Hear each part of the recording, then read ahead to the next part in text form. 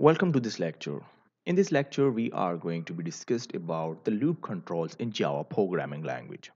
There may be a situation when you need to execute a block of code several number of times. In general, statements are executed sequentially. The first statement in a function that execute first, followed by the second, and so on. Programming languages provide the various control structures that allow for more complicated execution path.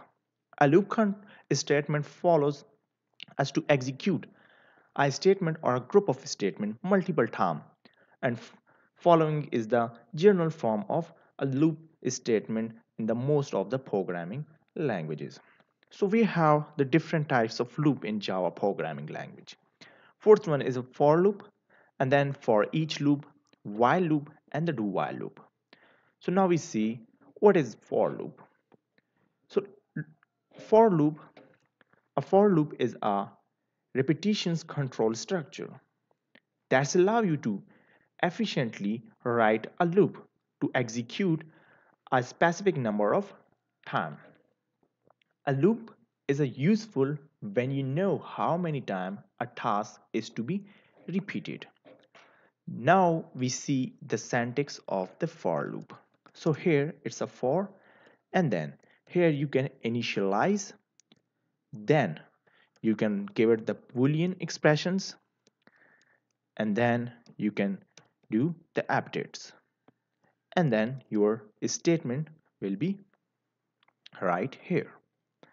So the initializing step is executed first and only once. This step allow you to declare a control variable and these steps end with a semicolon. You can see here. So this step end with semicolon. Remember that. Next the boolean expressions. Is evaluated if it is true. The body of the loop is executed. If the loop will not be executed and controls jump to the next statement pause the for loop. After the body of the for loop gets executed, the control jump back up to the update statement. It allows you to update any loop control variable. This statement can be left blank with a semicolon. Now we see the boolean expressions. The boolean expressions is now evaluated again. If it is true, the loop execute and process repeat body of the loop and then update step and then the boolean expressions. After the boolean expression is false, the for loop is terminated. Now we see the example of this for loop. So here I just write my class's name is for loop and then I just write public static and void main then string and string is arguments and then here I is declare 4 and for integer i which is equal to 0 uh, 110 so this is a step of initializing. Now here I just give it the boolean. So i is greater than 1 so here this loop check the statement is true or statement is false and then I write i minus minus. So this is a decrement operator and now system dot out dot print and here is a here I just write print line and then the value of i is and then I just close this string here and plus i. So concatenate i here. Now you see the output of it. So proceed and then you can see. The value of i is 10 because i is greater than 1 so i is greater than 1 so i value is 10 here. So the loop so the value of i is 10 9 8 7 6 5 4 3 2 so 1 2 3 4 5 and 6 7 8 9 so it will be executed 9 times because it start with the value 2 so now now i just gave it the example of infinite for loop so infinite means it will be execute the unlimited number of time. So here i just simply make a change like i and i is equal to 1 here. And i is greater than 1 so this is the increment operator here. So system dot print line and the value of i is and concatenations. Now i just run this code. So and uh, and here I just write i is greater than or equal to 1 so you can see when I just run this code and the value of i is so it will be run infinite number. So this is an infinite loop as a condition would never return false. It will always true.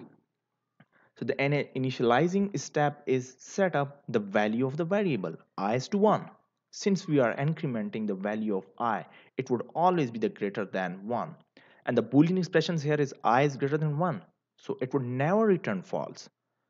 This would evenly lead to the infinite loop conditions. Thus it is important to see the coordination between uh, sorry the coordination between boolean expression and increment and the decrement operators to determine whether the loop would terminate at the at some point of the time or not. So this is the example of the for loop. So i just finished this. So now we just see the example of the for loop iterate an array. So here i just remove this. And now after this int array and then which is equal to 2 and here I just write 12 and 45 and 9 so we learn about the array in our next upcoming lectures. So I here I just write 4 and 4 integer here and i which is equal to 0 and then i is less than array dot length. And then i plus plus. So here i just write system dot out dot print and the print line here and array which is i. So here i start with 0 as an array index start with 0 2 so now we just see the example of iterate and you can see 2 12 45 and 9 so this is the output of iterate in array. Now we just turn to for each loop in java. For each is another array traversing technique like for loop which is introduced in java 5 it starts with the keyword for like a normal in for loop Instead of declaring or initializing a loop counter variable, you declare a variable that is the same type as a base type of the array, followed by a colon, which is then followed by the array name.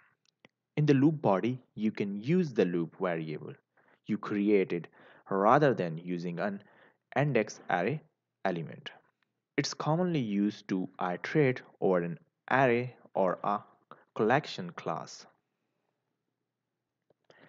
So here is a syntax of the for loop which is for and then you can type a variable and then array okay? And then you can write this statement using var var means a variable. So now here we just uh, see the example of for loop. Now here I just write public static and void main which is string and then arguments then here I just write int and the size of array and marks which is equal to 120 130 140 and 150 and 95 and at the last I just write 100 okay? So close this code here and then here I just write int and highest underscore marks. And highest marks which is equal to maximum.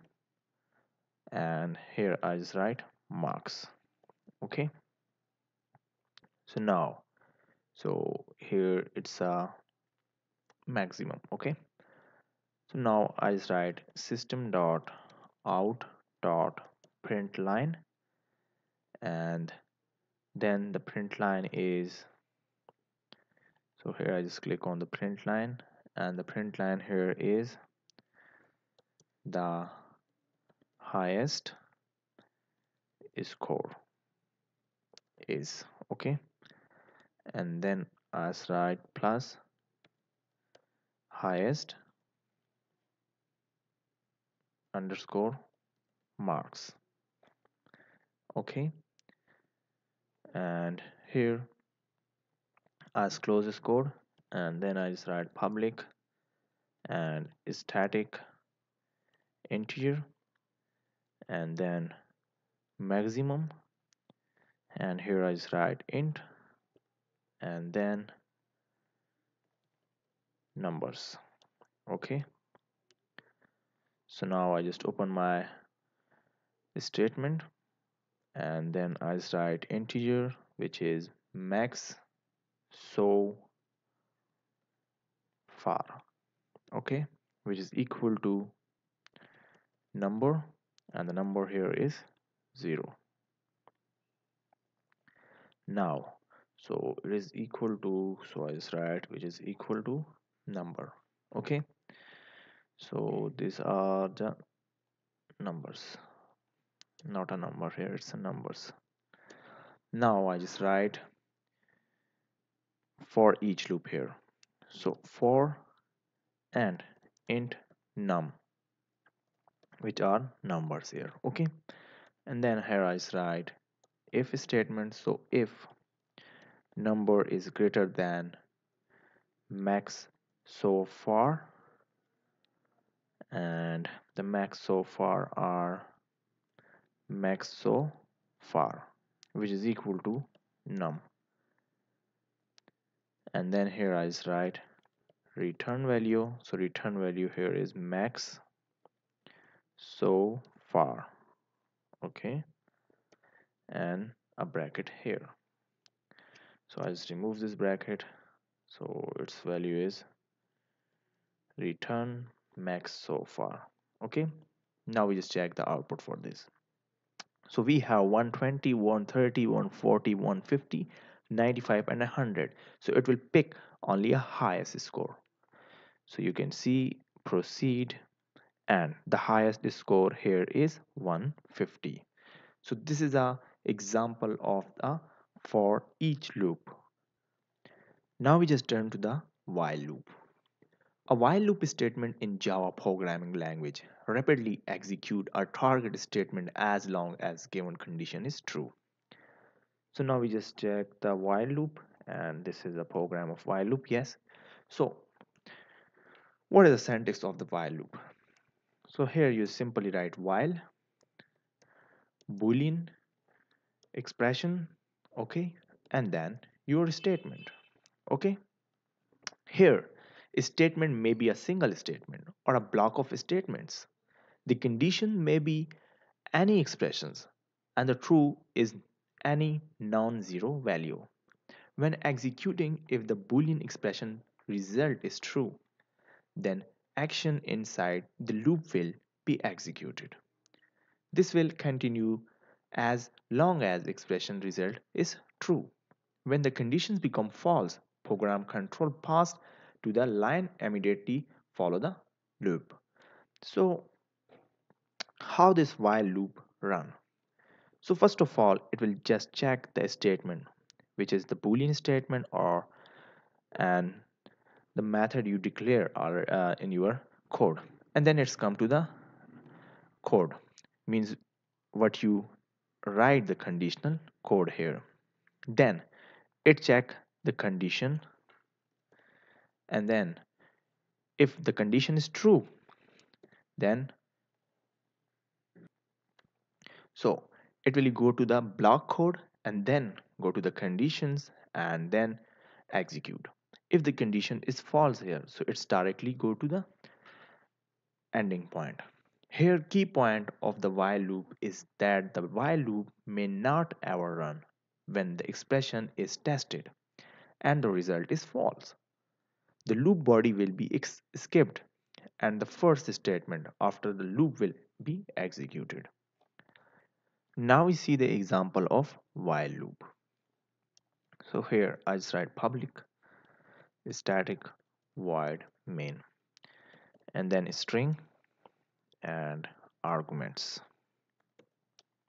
Then I just write integer i which is equal to 10 and here I just write while and i is greater than 1 and then I just write system dot out dot print. And the print line here is I just pass the parameter i. And at the last i plus plus. So I save this code and execute it.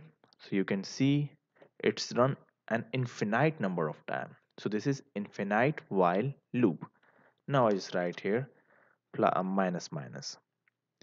So I stop this and then you can see 10 9 8 7 6 5 3 2 and it start from 1 so this is an example of while loop. So now we just turn to the do while loop. A do while loop is similar to a while loop expect that a do while loop is generated to execute at least one time. Means the do while loop if a condition is true or a condition is false it will be executed one time. So the syntax of this do while loop is so here I just write the syntax so you can write do and then the statement here and then you can write while loop and boolean expressions here notice that the boolean expressions appears at the end of the loop so the statement in the loop execute once before the boolean is tested if the boolean expression is true the control jump back to, to do this statement and the statement in the loop execute again. This process repeat until the boolean expression is false. Means when the boolean expression is false, the process will stop work. Now we just see the example of this do while loop. I remove this and here I write public static void main and then string and arguments now here I write integer i which is equal to 10 and then I write do so do system dot out dot print line which is i here. And then I write i minus minus. And then I write while. So while here the boolean expression so i is greater than 1 so now just see the result so you can see 10 9 8 7 6 5 4 3 2 so now here I just write the increment operator here for the infinite number of time. So you can see it will be executed. When this statement is false so it will be stop work.